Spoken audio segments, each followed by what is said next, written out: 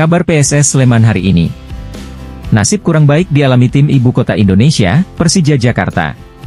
Di Liga 1 musim 2023-2024 ini, Persija Jakarta menempati posisi ke-9 klasmen sementara kompetisi sepak bola tertinggi di tanah air.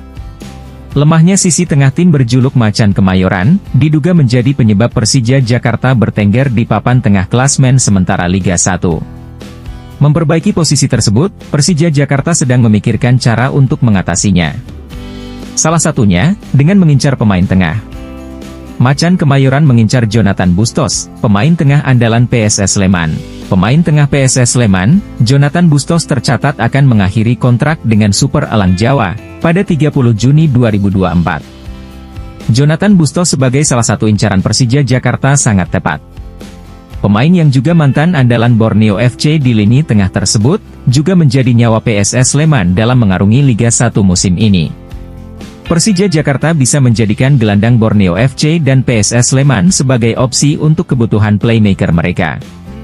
Tentu, kehadiran Jonathan Bustos bisa meningkatkan kreativitas serangan Persija Jakarta untuk semakin tajam di Liga 1 2024 mendatang.